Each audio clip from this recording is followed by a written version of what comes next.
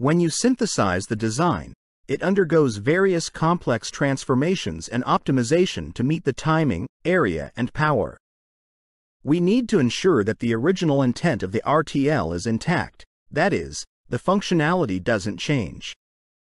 Logic equivalence checking is a process to ensure that the synthesized netlist is functionally equivalent to the original RTL design because we need to make sure whatever optimization and transformations which have happened are not changing the original functionality.